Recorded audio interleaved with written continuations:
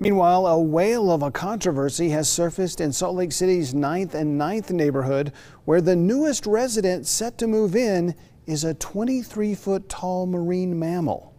600 miles east of the Pacific Ocean and 4,300 feet above sea level, the enormous humpback will emerge from the roundabout at 9th South and 11th East. Mayor Erin Mendenhall signed off on the sculpture after the Salt Lake City Arts Council surveyed 100 residents of the area. Can I ask why a whale? well, it's unexpected, and Ninth and Ninth is an unexpected sort of community. And I think it's the dumbest thing I ever heard for a statue in Salt Lake City. There's no ocean here. A whale doesn't belong. Local artist Stephen Kessler, who has created similar works for the Loveland Living Planet Aquarium, is sculpting the piece, and it's a big son of a breech, standing 23 feet tall and 40 feet wide. Some say it will be a welcome addition. We love the idea of the well. We think it's going to be amazing and spectacular. It's out of the blue. That's the name of the sculpture, and it is certainly out of the blue. But some residents are simply bewildered and think this idea blows.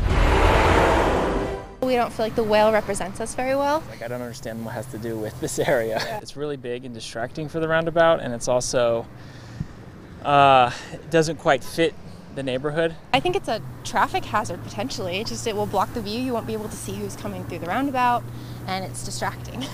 Now, there is one additional problem. In the past year, this roundabout has become gnome man's land. Some residents are worried when the whale arrives, these guys will have to go somewhere else.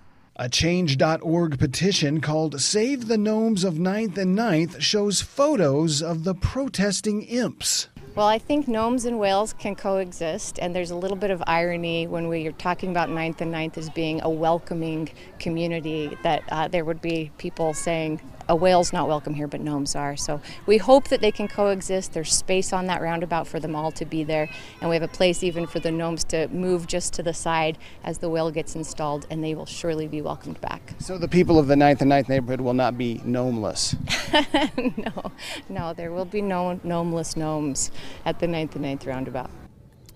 That whale sculpture is being finished this summer and no doubt will make a splash when it is installed in the fall. I don't know, guys. Uh, we're landlocked here in Utah. I don't know how you feel about the prospect of a big whale. A lot did you count how many puns he had in that? You can't possibly. But I feel good knowing that the gnomes will not be gnomeless. That was that was the question I was waiting for, Rick, and I'm glad that you were able to solve that.